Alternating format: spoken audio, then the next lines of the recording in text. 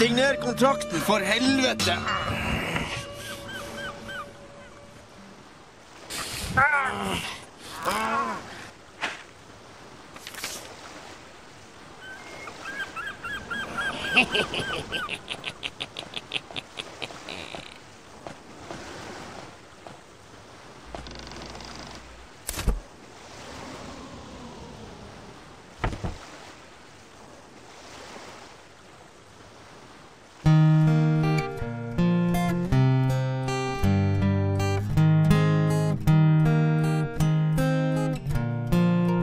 Har ikke glemt av han far.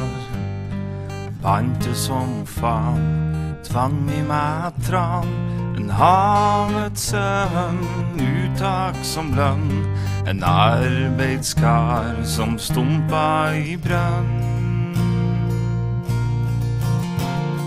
Jeg huska bestandig skrøyen Og tungen er skjært mens jeg enda brukt bleien Jeg husker saltsmak når vi var ombord Og en far som skreik Hør mine ord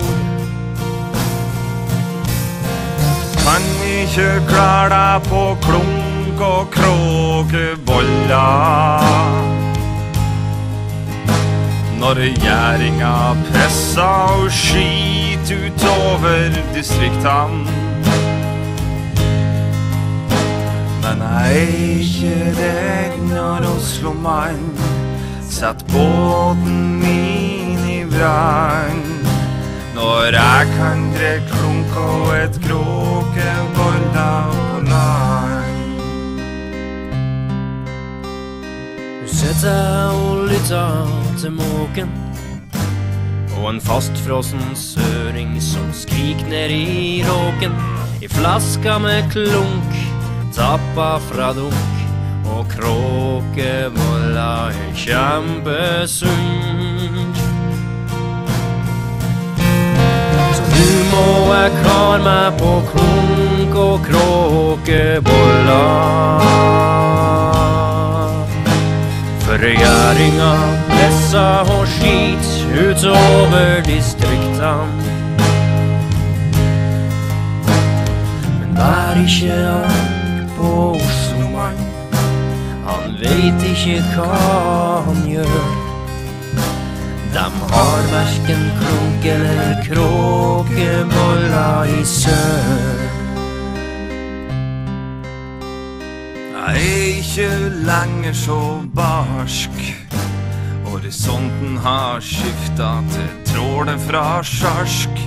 EU-skrømt, ja, den blei belønt. Men fisken har rømt, og vi er fordømt.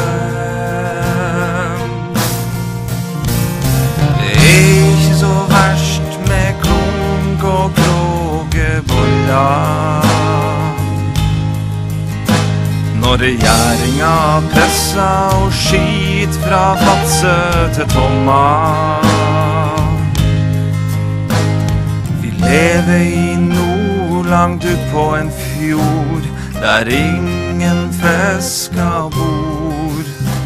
Så nu skal vi sømme om kråkebolla i kor.